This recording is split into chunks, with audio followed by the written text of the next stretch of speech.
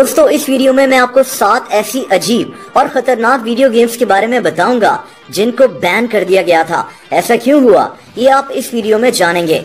वुल्फनस्टाइन दोस्तों, ये गेम सबसे पहले 1981 में रिलीज़ हुई थी। इस गेम में प्लेयर्स को हिटलर की फौज, यानी नाजी से खिलाफ लड़ना होता है और इनको खत्म करना होता है। लेकिन इस गेम को जर्मनी में बैन कर दिया गया था। हिटलर का ताल्लुक जर्मनी से था और जर्मनी अब खुद को हिटलर और इसकी नाजी पार्टी से दूर रखने की कोशिश करता है। हालाँकि इस गेम में हिटलर की नाजी पार्टी को विलन के तौर पर दिखाया गया, लेकिन फिर भी इस गेम को जर्मनी में बैन कर दिया गया था।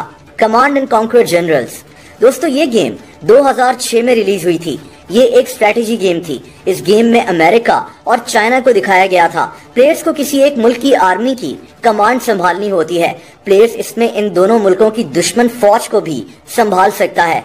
लेकिन इस गेम को चाइना में बैन कर दिया गया था। वजह ये थी कि इस गेम की शुरुआत में दिखाया जाता है कि चाइना में न्यूक्लियर अटैक हुआ है, जिसमें चाइना के शहर और इनके डैम्स तबाह हो रहे हैं। दोस्तों, चाइनीज़ गवर्नमेंट को ये बात पसंद नहीं आई और इस गेम को चाइना में बैन कर दिया गया। साइलेंट हिल होम कमिंग दोस्तों 1999 में रिलीज़ होने वाली ये गेम बहुत ज़्यादा वॉयलेंट और ग्राफिक है।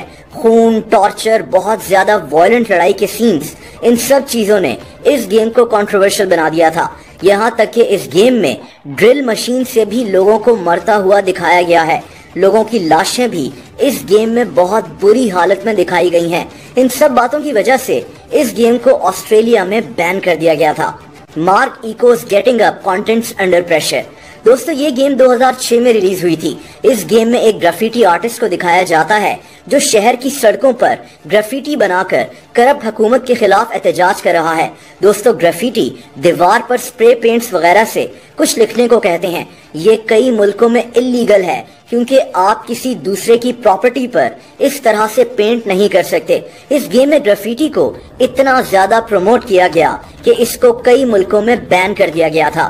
कार्मेगेडन दोस्तों, ये गेम 1997 में मार्केट में आई थी। इस गेम में प्लेयर्स अपनी गाड़ी को पेडिस्ट्रियन पर चढ़ाकर चीज़ों को तोड़ते थे और इसके बदले में इनको इनाम भी दिया जाता था। इस गेम में बहुत ज़्यादा वायलेंस भी था।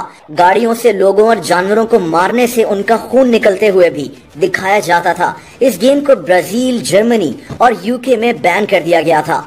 ग्रैनी दोस्तों 2017 में रिलीज़ होने वाली ये एक हॉरर गेम है।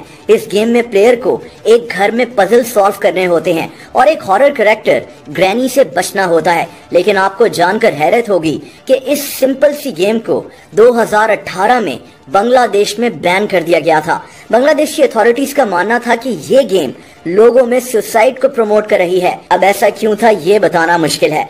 बहरहाल, मैंने इसके मुतालिक काफ़ी रिसर्च की, लेकिन ये बात सामने नहीं आ सकी कि इसको अनबैन किया गया कि नहीं। और दोस्तों, आखिर में बात करते हैं लेफ़्ट फॉर डेड टू की। दोस्तों, ये एक इंतहाई मशहूर गेम है, लेकिन इसको भी ऑस्ट्रेलिया में बैन कर दिया गया था। दरअसल ये गेम बहुत ज़्यादा वॉयलेंट थी। लोगों का सर कटना हो, खून निकलना हो, या फिर लोगों की लाशों को दिखाना हो, इस गेम में इतना ज़्यादा वॉयलेंस था कि इसको 18 साल से ज़्यादा उम्र के लोगों के लिए सूटेबल कहा गया था। ऑस्ट्रेलिया में बाद में इस पर पाबंदी को हटा दिया गया था। लेकिन इस गेम को आर एटीन प्लस की रेटिंग दी गई थी कि इसको सिर्फ़ 18 साल से ज़्यादा उम्र के लोग ही खेल सकते हैं।